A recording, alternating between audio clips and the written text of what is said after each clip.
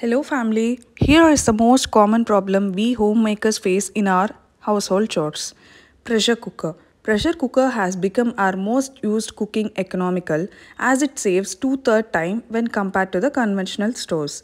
I think many of you has been suffering with this safety valve issue.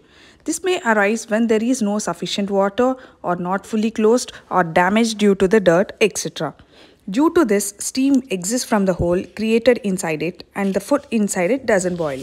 All you need is just a 1 rupee coin. It may be a 1 rupee or 2 rupee coin. So I am here with just a 1 minute hack, I mean an emergency repair.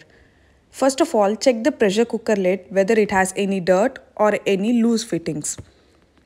Then check the safety valve whether it has a hole in it and simply remove it with the help of a coin as I am showing in the video. Then you can replace it with other safety valve.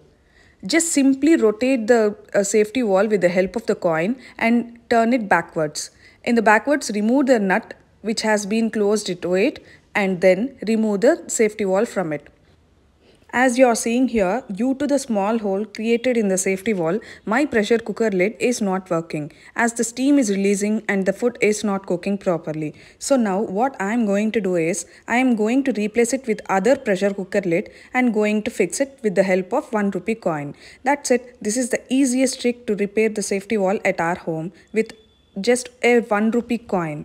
So please do watch, subscribe and like my video and please do share the video to all your well-wishers. Thank you.